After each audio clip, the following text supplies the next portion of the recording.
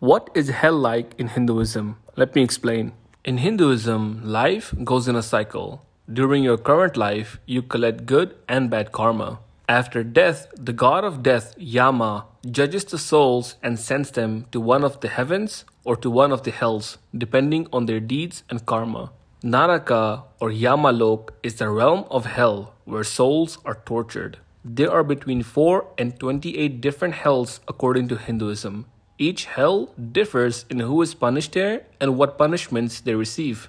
For example, Maharaurava is where a soul who indulges in at the expense of others is punished by having beings called the Kravyadas eat their flesh. Through punishments, the bad karma is removed, and after all the bad karma a soul has is finished and they have served their time in hell, they are reborn into a new world.